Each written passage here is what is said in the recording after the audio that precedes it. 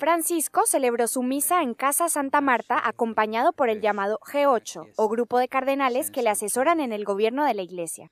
En su homilía, el Papa dijo que los cristianos suelen imaginarse a Jesús predicando o curando, pero muy pocas veces lo ven como alguien sonriente. Afirmó que la Iglesia debe transmitir esta felicidad. No, si può pensare una chiesa senza gioia. E la gioia della Chiesa proprio è questo, annunziare il nome di Gesù. Dire Lui è il Signore, mio sposo è il Signore, è Dio, Lui ci salva, Lui cammina con noi. E quella è la gioia della Chiesa. Francisco también habló de la iglesia como una viuda que espera el retorno de su esposo, pero que incluso en la espera está llena de esperanza y paz.